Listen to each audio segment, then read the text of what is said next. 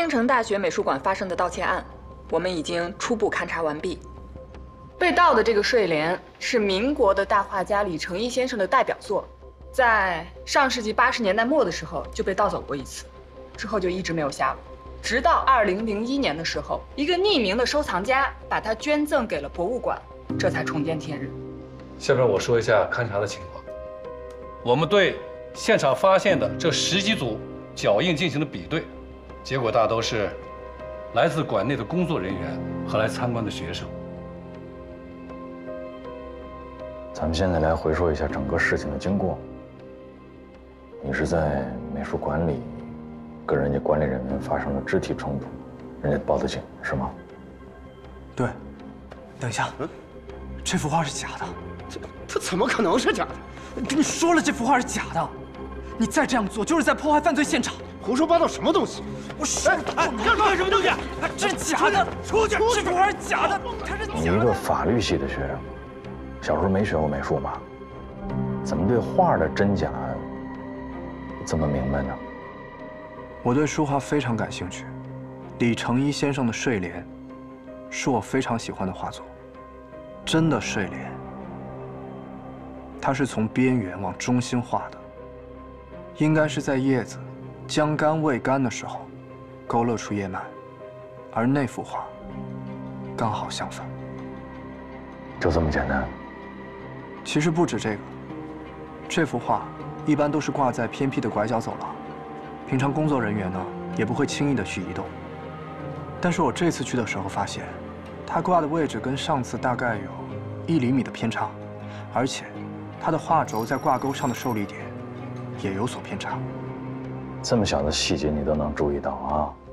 别人可能注意不到，但是我毕竟去过那么多次。睡莲被偷，庄文杰的嫌疑最大。他每天都去看画，一看就是半个小时。而且我去学校调查过，庄文杰确实有问题。去年学生宿舍发生过一起盗窃案，有个学生放在宿舍里的电脑不见了，其他人都怀疑是庄文杰偷的。报案了吗？没有，因为没有证据。而且奇怪的是，东西很快就还回去了。当时怎么丢的不清楚，这是保卫处向我介绍的。而且他们还说，在还电脑的这段时间里，只有庄文杰进出过宿舍，但是走廊里没有监控。人家自己也不承认偷过东西。再加上还有一年就毕业了，这孩子平时学习成绩挺优秀的，最后也就不了了之了。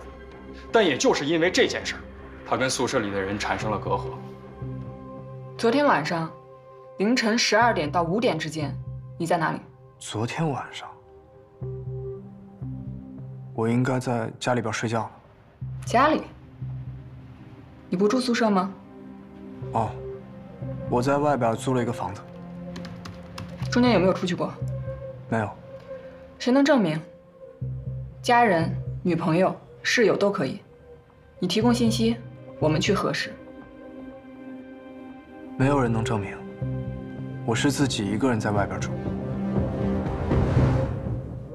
我去查了一下庄文杰的档案，这孩子父母双亡，母亲因病去世，父亲意外坠江，活不见人，死不见尸。他父亲的名字叫庄耀柏。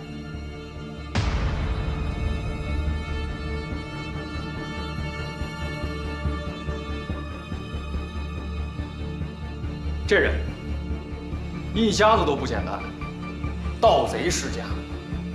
据说庄耀柏的爷爷就是民国大盗，他爹也有盗窃的案底。十二年前的洛神案，我查到了资料。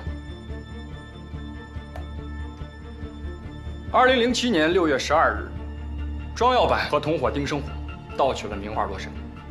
在携画潜逃过程当中，庄耀柏驾驶车辆冲撞沪江公路围栏，连人带车冲入江中，《洛神》被毁。庄耀柏的尸体虽然没有被发现，但推断应该是已经死亡了。青城市环江区环江公路五十八公里处，牌照为青 K 九七五八一的非营运小型汽车在行驶至事故地时失控。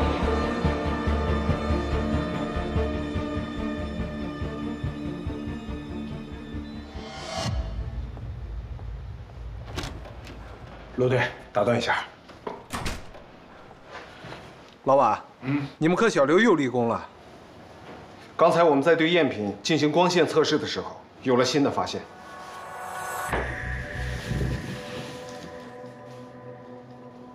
陆队，您看，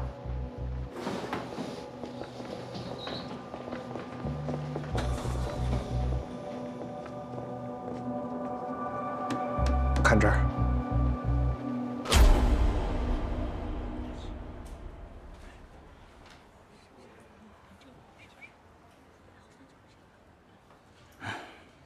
在美术馆又看到警车了，啊，又来了啊！难道画真的被偷了？哎，你说他是怎么看出来的？谁知道呢？指不定贼喊捉贼。那个，一会儿咱们去食堂。走。文杰，警察好像又来学校了，你没事吧？可能有什么新的线索，他们要过来调查一下，跟我没什么关系。那你准备？没什么事，我先走了。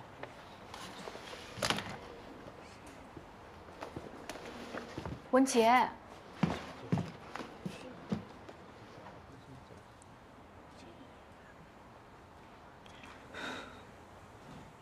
能提供的线索我都提供了，你们以后就别再来找我了。我还有不到一年时间毕业，只想安静的把大学上完，不想走哪儿都被人议论。那我倒想问问你了，你闲的没事在画上签上自己的名字，你是几个意思呀？什么名字？用隐性墨水在这幅假画上签上你自己的名字，我得用偏光笔才能看得到你是几个意思呀？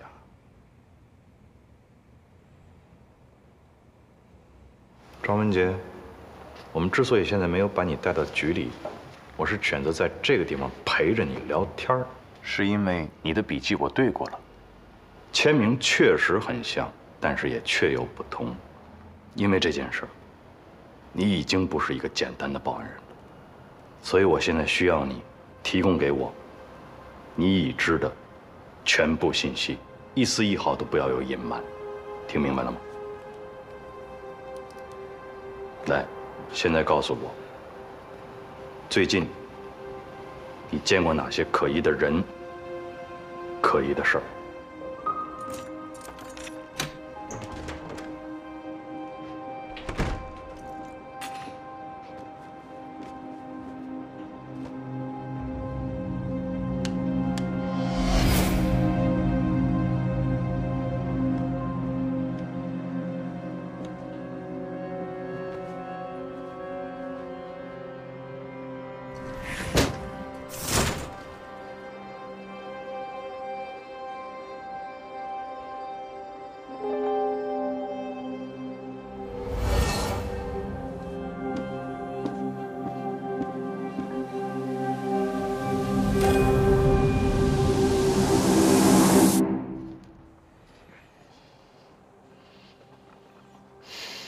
罗警官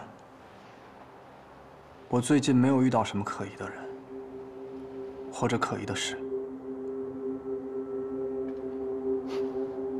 好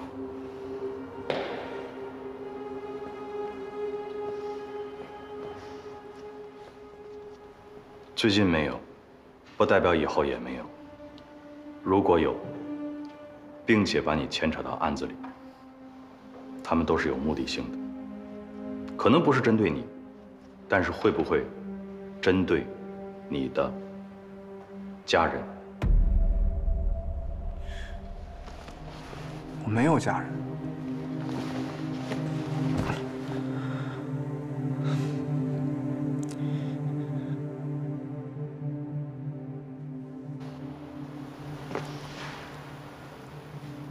我瞒你说呀，我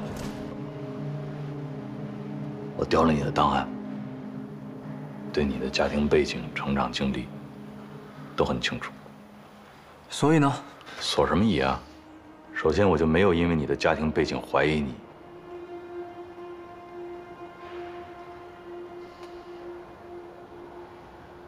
你爸爸是什么样的人，不代表你就是什么样的人。我知道，你想尽量跟你爸爸撇清关系，但是保不齐就会有人，因为他。专门找上你，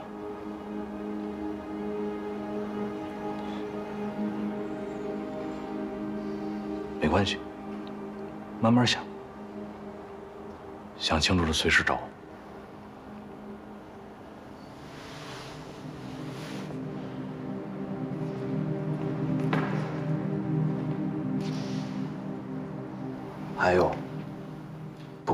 去经历过什么。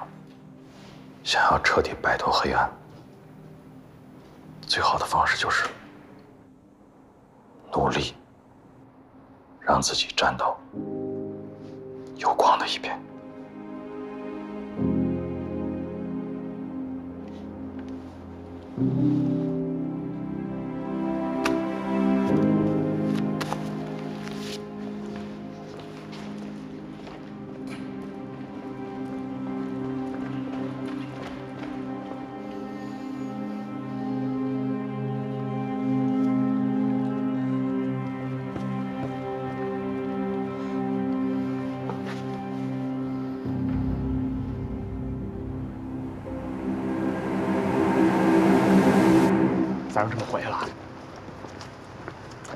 我大学生问话吗？不是上次问过一回了吗？这次不一样，这次得严审了。你有证据证明是他偷的？假话都写他名字了，虽然不能证明是他自己写的，但这多大的嫌疑！而且，我是问你有证据吗？那没有。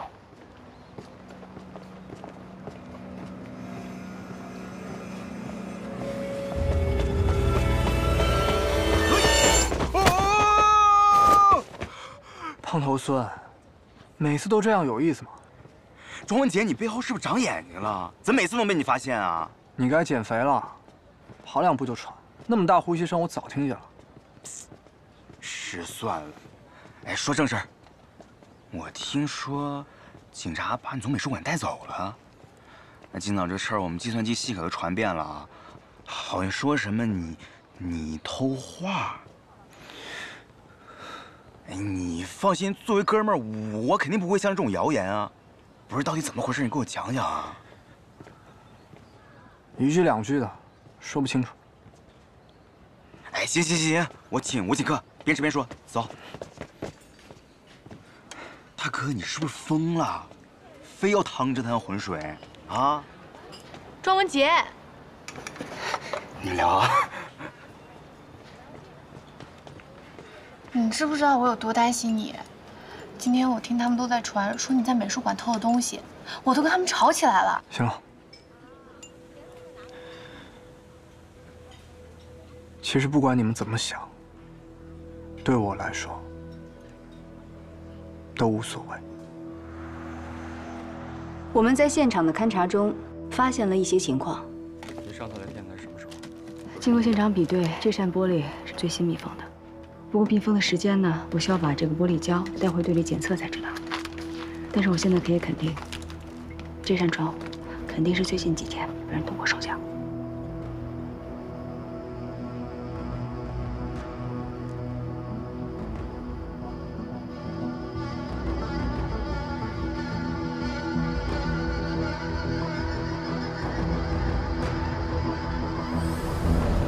我还查了昨天晚上的监控录像。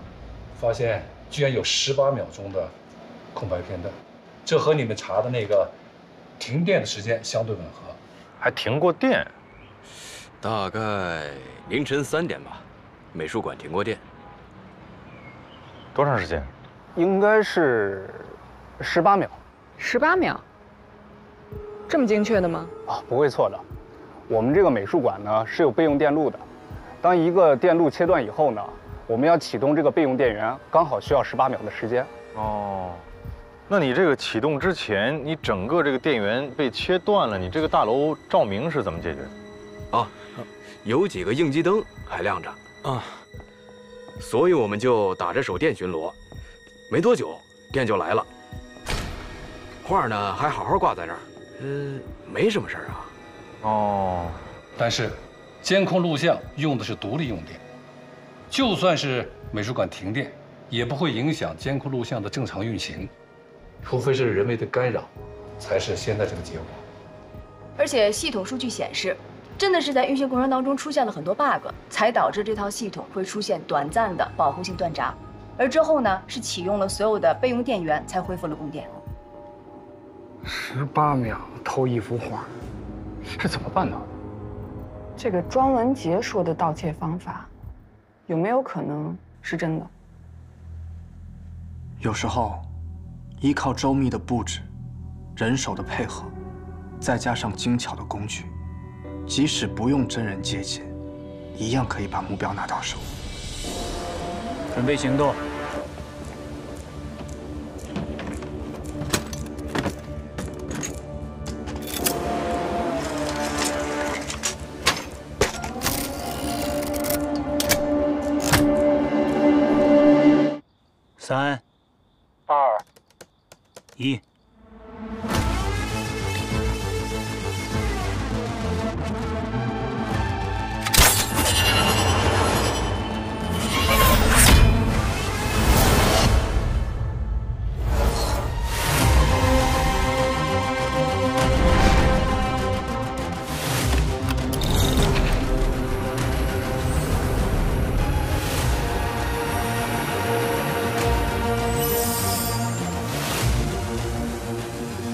按你这个说法是，他们把假画盖到了真画的上面。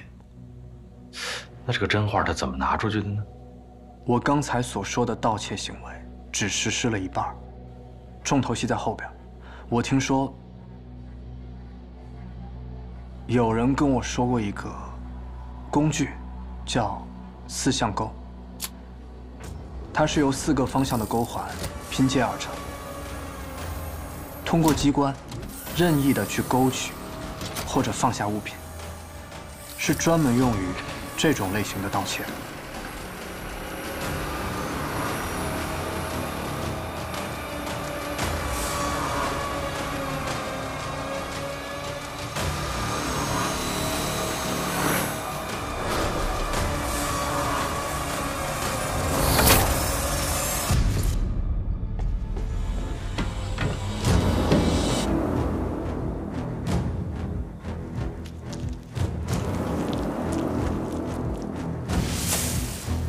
搞定。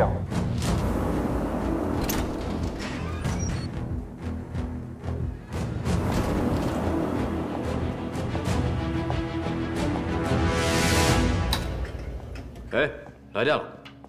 哎，你刚才有没有听到这边好像有什么动静啊？还是我听错了？好像没什么事儿，走吧。嗯，行。去那边再逛一圈。那这个团伙还真是训练有素，而且他们对时间的掌控要非常的精准，每个环节必须卡死点才能完成你说的这种盗窃方法。如果配合默契，完成这一系列的动作，大概只要二十秒。但是我们现在所有谈的都是基于你的个人的一个设想。您说的对，这确实只是个猜测。这思想狗长什么样？我也没有见过。哦，对，你是听别人说的，谁说的？小时候我听别人讲的故事。就是个故事。嗯。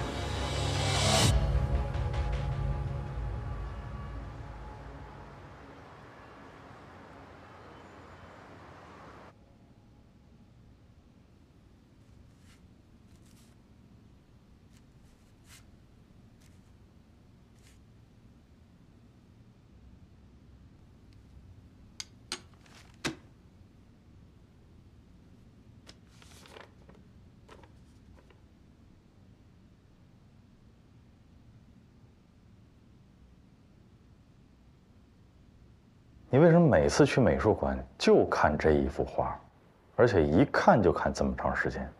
什么情况啊？我母亲，我母亲她很早就去世了。在我的记忆中，她也非常喜欢睡莲，以前经常在家里边临摹。我到现在也还记得。我母亲在家里边画他的样子。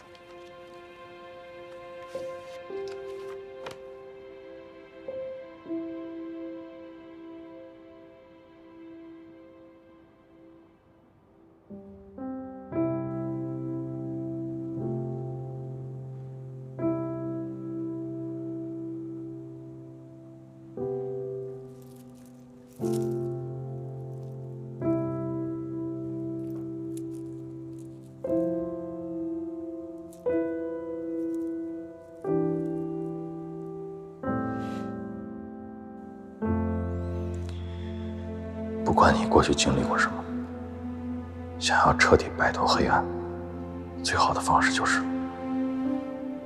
努力，让自己站到有光的一边。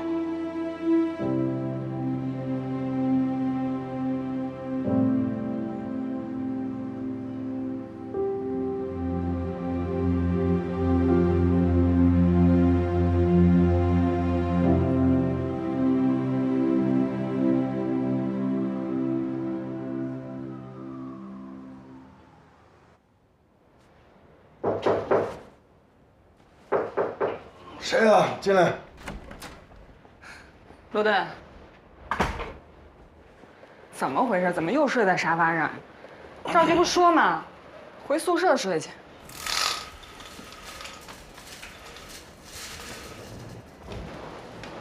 昨天干到三更半夜，时间紧，任务重啊。我看您平时任务不重的时候，也挺喜欢在沙发上睡。哎，我说，您是不是？就懒得多走那两步路啊！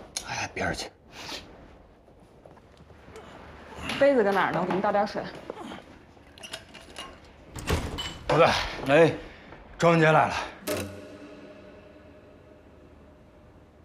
你昨天说的对，假画上出现了我的名字，那我就不再是一个单纯的报案人了。其实昨天跟你们聊过之后，我想了很久，虽然对上一代的恩怨。或者是有谁想要陷害我这件事情上，完全没有头绪，但是我不想再被动等待，他们的目的和身份浮出水面了。你想看这幅画也没什么用啊，用纸和颜料我们都找专家检测过了，都是民国货，都不能在古董市场上买到。查来源无异于大海捞针。我之前也说过，我对画画很感兴趣。在睡莲这幅画被展出来之后，我临摹了将近有十七幅。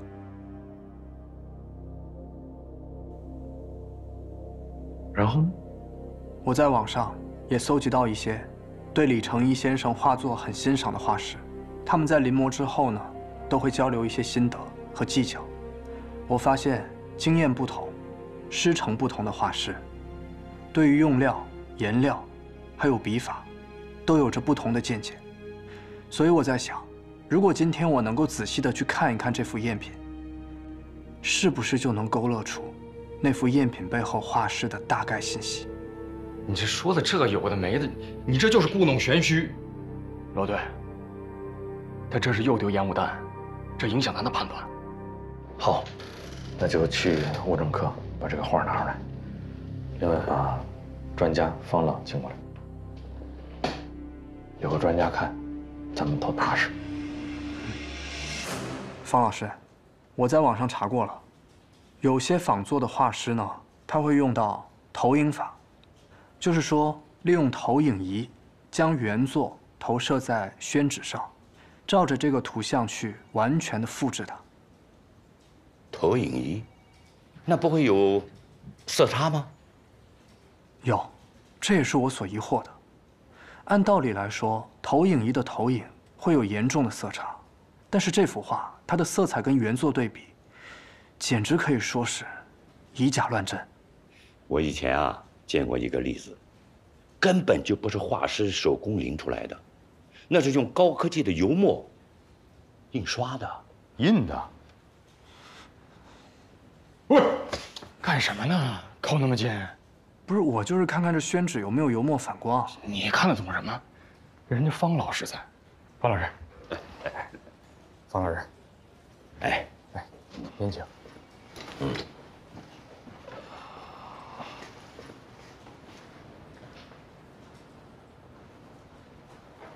这画不是印刷的，没有反光。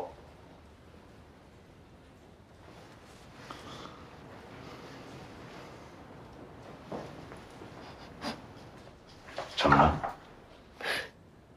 这画面上有一股特别的味道，不是油墨味吗？不是，什么味儿？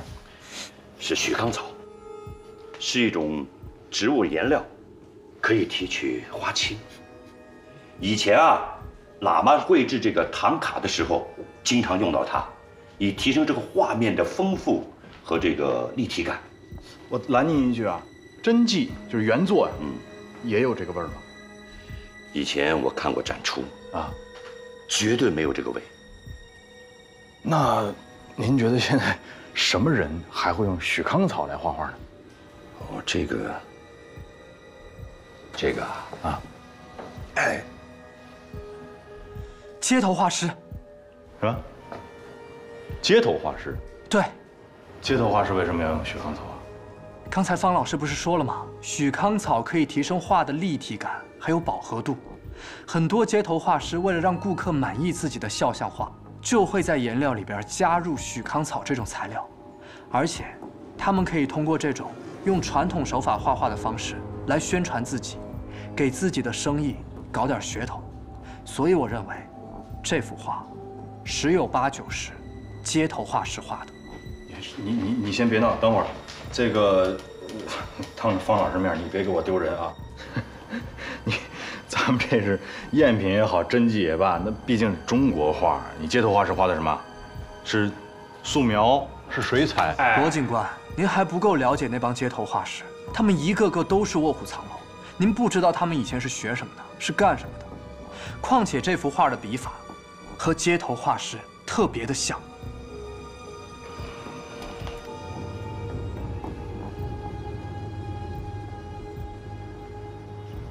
有道理，有道理。这头画师就习惯用果断直接的线条勾勒轮廓，然后再在画面上着色。他们把这种习惯带到了这幅伪作上里边来了，这也就能解释他们为什么不像李大师一样，从边缘向中间画，等叶子墨干了之后再勾勒叶脉，而他们却是反其道而行之。小伙子，来坐，来坐坐坐坐坐。你到底是学什么专业的？哦，我是学法律的，法律系的。你有没有考虑转行啊？啊？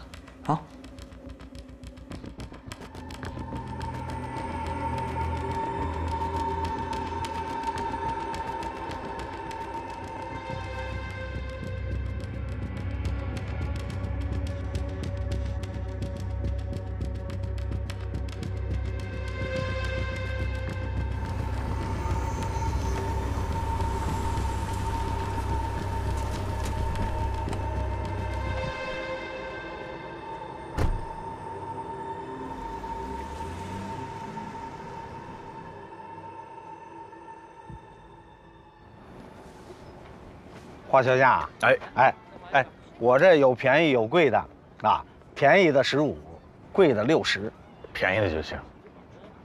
便宜的黑白的，那就贵的吧。我年纪轻轻画什么黑白的呀？主要您给我画帅点。帅点你得先给钱，我怕一会儿画完你说不帅，耍赖不给钱怎么办？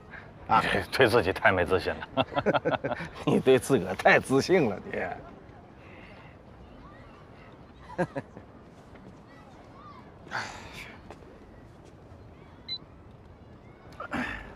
帅不帅咱不提，您给我画立体点总行了吧？画不了立体。不是有有一种这个配料，哎，不是调料，哎，不是颜料啊，哎，叫许许许许康草。内行，哎，哎，你一定是同行砸场子吧？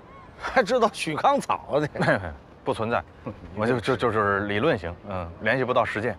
哎，另外一个啊，我不光想画人像，嗯，我想带着后边这个风景，您给我画成水墨风的，就这种。画不了。许康草，我是画人的，画景啊找老三。我们这帮人当中啊，画景最好的是老三。谁老三？甭看呐，他这两天啊没出摊，没做生意。怎么呢？前两天接了个活，还跟我们在显摆呢，说什么大火，我们这个不相信，吹牛吧你？哎啊，您知道他在哪儿吗？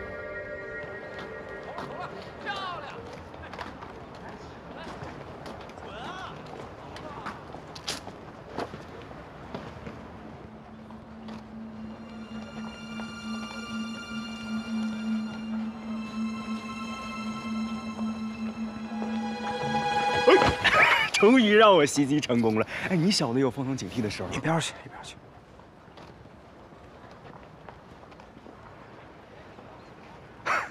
哎，平时懒得搭理人家，看见人被搭讪了，你这心里又不舒服了，是不是？你瞎说什么呢你？我只是觉得那人不像学校的。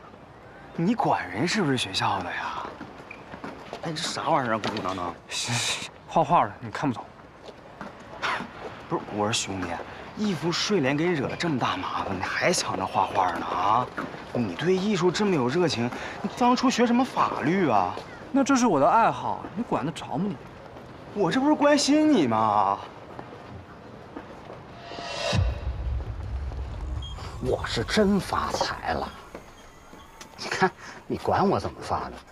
我买彩票买中了行不行啊？啊？哎，等过一阵子呀，我带你去趟国外。我都想好了，去瑞典看极光。哎，我就在那个极光下头给你画一个极光美人图。哎，不行，现在不行，我得低调点儿，明白吧？过一阵子，财不能露白啊！就这样，嗯啊，哎，你找谁呀？王老师吗？你谁呀？哎呦，慕名而来，跟您求幅画来了。哎呦，这怎么都找家里来？什么画啊？睡莲。那有人那边。哎呀，爹！哎呀，哎，老实点，跟我们走一趟。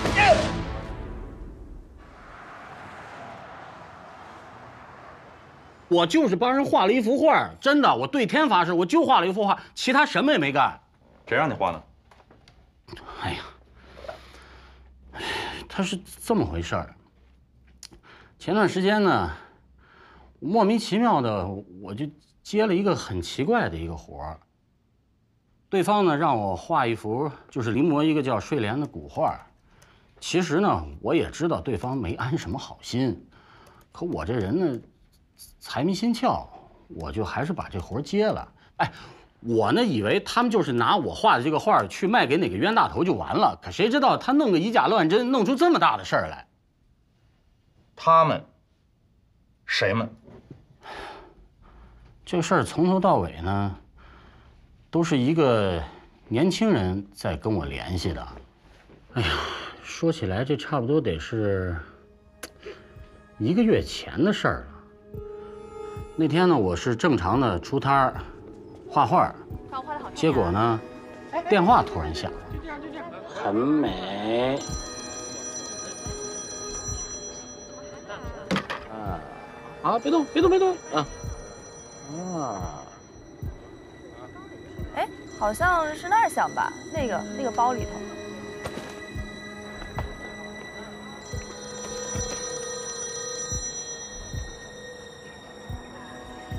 电话里这个人呢，说有一笔大生意要照顾我，就就让我给他临摹一幅画。其实啊，我之前也接过类似的黑活，可是像这次这么玄乎的这么个情况，我第一次碰见。怎么了？玄乎啊！怎么个玄乎法？哎，怎么说呢？就是感觉神出鬼没的。那你这找我干活？你得先付定金呐。没问题。啊，那地点呢？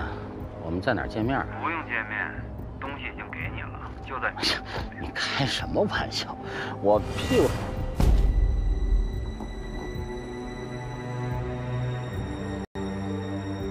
那包里面有什么？包里头就是一摞的现金，然后呢就是做卷轴用的东西。天地杆、生宣、石蜡，还有四尺长的那么一段的蜀锦，哎，都是些民国的老东西。他说这些东西你拿到手之后，他跟你说什么？嗯，他说呀，那钱呢是定金，等画交了之后呢，还有另外的一半。他还说呢，特别相信我的临摹的技术。完了，哦，他还有一个特殊的要求。您有什么要求，您尽管提啊。尽管提，啊，啊，哦，你是说要把你的名字用药水写上去？手机在哪儿呢？这个叫文杰这个年轻人啊，专门交代我说，完了事儿把手机给扔了。可我一看那手机挺新的，挺值钱的，我就没舍得扔。我就把那卡拿出来给扔了，完了手机我送我女朋友了。女朋友在哪儿呢？